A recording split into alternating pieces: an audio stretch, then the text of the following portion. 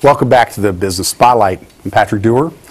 Today we're doing a very special, different kind of show that uh, you can call it a pilot, but the idea is that we're relaunching the Business Spotlight with additional resources, is what I would call them. Uh, I introduced you to Luis Estrada in the last segment of the show, and, and there are four different segments to this show. And what you'll see is that we're trying to bring more value for being a guest on the show. My, my guest in this segment, we're going to be talking with Marc Harty. Marc is the CEO of Main Topic Media.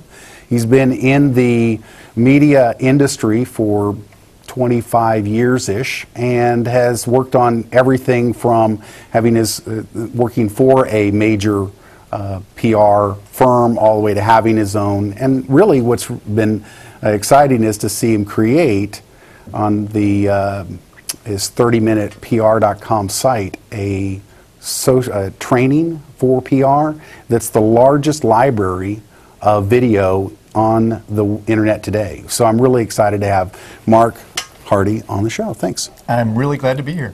Well, we have done a show before. We have. So this is old hat for you. But the reason why I wanted Marc on the show is because as a PR specialist, every show will get a lot of press um, interest, a lot of. You're going to shine them, aren't you?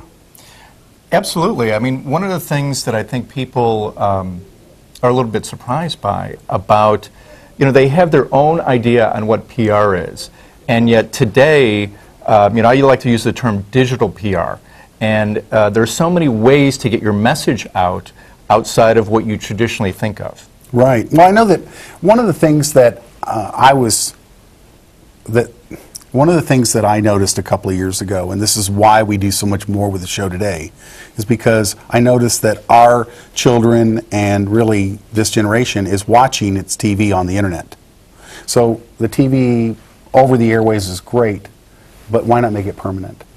Let their 15 minutes of fame stay. With the press release and the, pr the, the promotions that you use, what happens with a show now?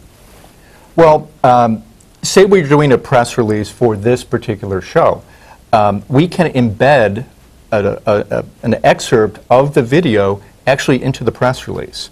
And I've got a, um, a chart, a graph that shows that I think people think of press releases as, you know, this, text. And what that chart shows is, is that you add multimedia elements. So you add an image, you add video, you add um, uh, downloadable files, you add social media integration. Now you're going from a press release being viewed you know, a certain number of times to 10 times the number of views.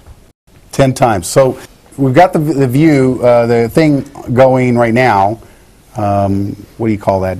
Picture of what you're talking about? Yeah, that's what basically that is. That is a growth pattern of, and it might be a little bit hard to see. The bottom is a text-only press release, and what, it, what it's showing is, is you add other visual elements, whether it's an image, uh, an attachment, a document. You can attach files to press releases now. A video, we mentioned you can embed a video.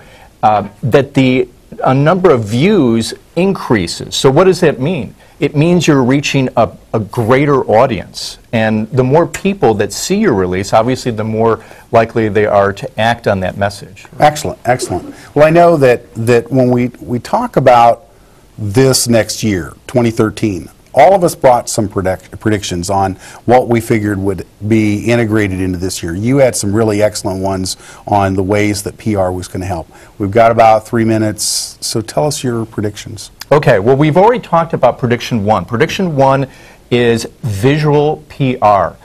You know, think about PR visually.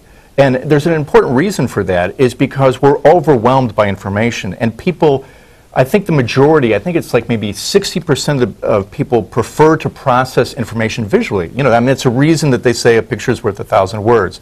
So wherever you can, add that visual element to a press release. That's, that's, uh, and so that's going to continue to increase. That's prediction number one. Prediction number two, have you ever heard of the term newsjacking?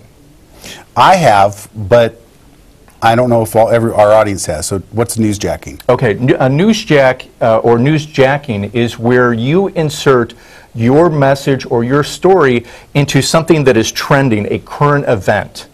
Um, and uh, can I give you a quick example? Please. Um, uh, I don't know, it was maybe a couple years ago, there was a story, it, was, it had captivated the media for days and days and days on end about miners trapped. Oh, yeah. And, and, it, you know, and, and it had a hap- happy ending. They were rescued.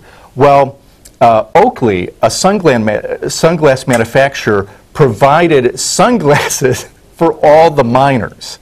Now, what a, what a, you know, it's a happy ending and then a happy ending to the happy ending. So it was just a nice way to, you know, they, they came off as a good corporate citizen.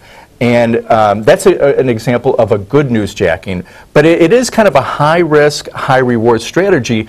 You don't want to insert something that's going to backfire. Yeah, I know that as we go into the, the, the next segments and as we go into the next few versions of or uh, shows, you're going to learn more about what I'll call Marc's thunders and blunders in regard to the client.